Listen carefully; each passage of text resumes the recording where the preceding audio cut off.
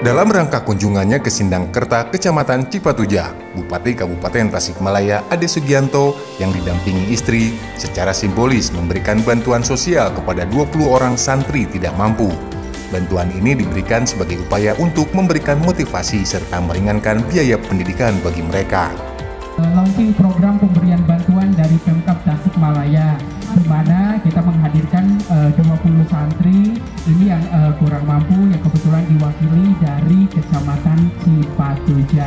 Baik. Untuk itu, kepada yang terhormat Bupati uh, Kabupaten Tasikmalaya Bapak Haji Ade Sugianto kami persilahkan dan juga mohon mendampingi untuk Ketua Pergerak PKK dan juga mohon mendampingi Adapun yang diterima oleh setiap santri berjumlah 1 juta rupiah yang berasal dari Kecamatan Sodong Hilir. Ade Sugianto menyampaikan kepada penerima bantuan tersebut untuk digunakan sebaik-baiknya sesuai dengan kebutuhan.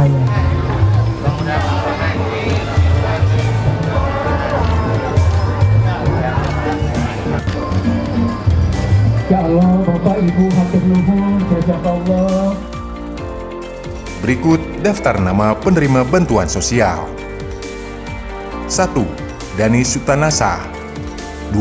Ade Aziz Badru Wahab 3. Dani 4. Dia 5. Lina 6. Andri Indrayudin 7. Iqbal Fikih Andrian 8. Evi Fauzia 9. Nadia Istiqomah 10. Siska Lestari 11. Aris Nur Hidayat 12. Suryati 13. Ade Sugian 14. Yopi Ardiansa 15. Helmi Ali Akbar 16. Maya Rosmayanti 17. Ridwan Anugrah 18. Dedeh Jamalia 19. Abdul Rahman 20. Anggi